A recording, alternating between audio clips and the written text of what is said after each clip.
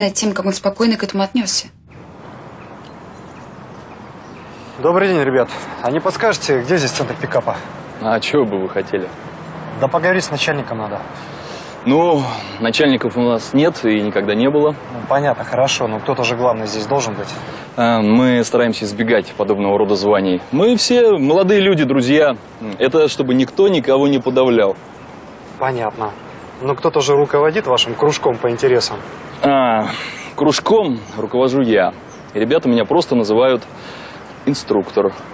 Хорошо, значит, тогда вы мне, товарищ инструкторы, нужны. А что бы вы хотели? Кого-то соблазнить или, может, проблемы какие-то? Да нет у меня проблем. Да вы не стесняйтесь, это сейчас сплошь и рядом. Я не стеснительных. Меня зовут Громов Олег, я юрист. Работаю в службе медиации.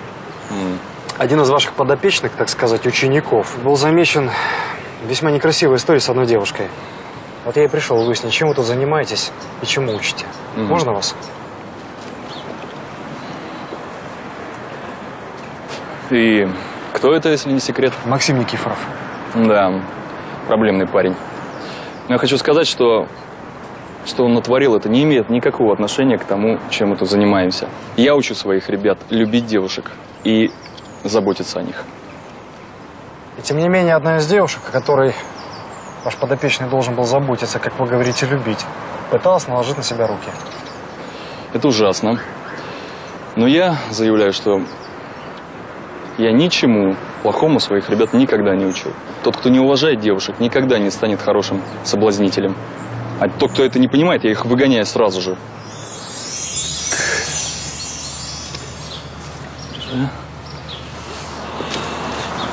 Тебе, тебе, тебе. А тебе задания на сегодня не будет. Это еще почему? Почему? Потому что ты у нас и так мега-гуру. Это нам у тебя надо поучиться. Я что-то не понял, что за сарказм? А что ты не понял? Ты наши правила знаешь? По-моему, знаешь. Нарушил, исключен. А, Свободен. Не отнимай наше время.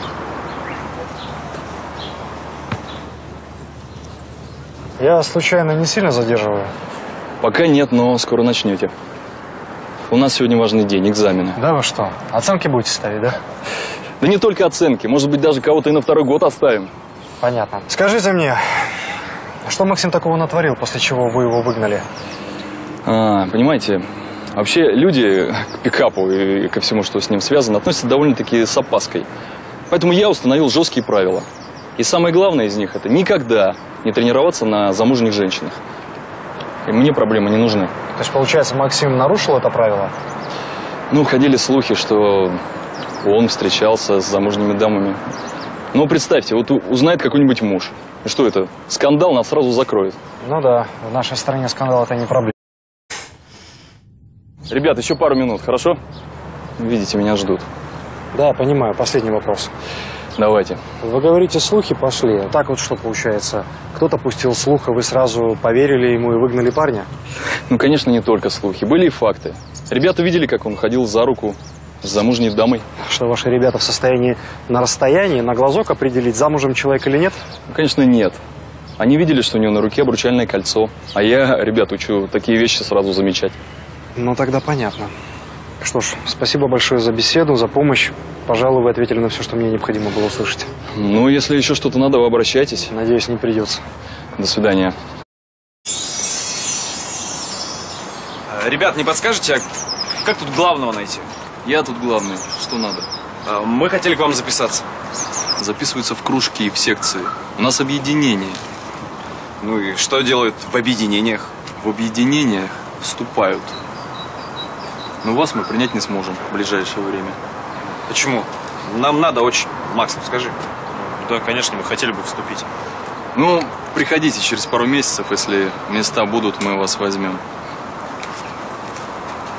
Да пошел ты! Козел! Что смотришь? Упырок. Я действительно слышу то, что слышу. Если ты не глухой, то да.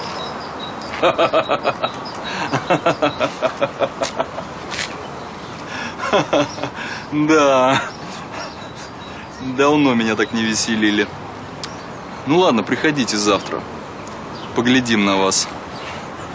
Интересный способ.